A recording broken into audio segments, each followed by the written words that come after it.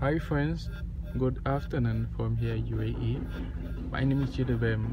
Now today's SPDOS I'm gonna be showing you what you can do if maybe your um, reverse camera isn't um, giving you um, the right signal. Maybe you're having you're getting something like this instead of having your um, your back view in a kind of camera.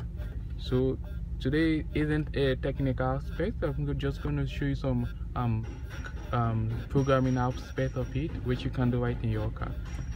Now there is a certain setting in your BMW that you can be able to select how you would like your backup camera to be to be in this format or to be in normal camera format. And here I'm going to show you what exactly you will do okay? This is your startup. All you have to do is to go to your setting. You have to press this once now you are in your setting okay. You go down to vehicle and tires. Okay. Coming you go down to vehicle and tires. Okay. You select that. Okay. Now you have to keep going to your right side until you get to maneuvering head okay.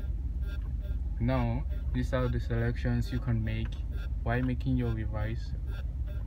This is land lane marking obstacle marking um turning circle lines and this is camera panning so this is exactly what you need to make your camera working back. You have to select this or deselect whatever you want you don't want and this out. Thanks so much for watching um today's episode. I hope this helped you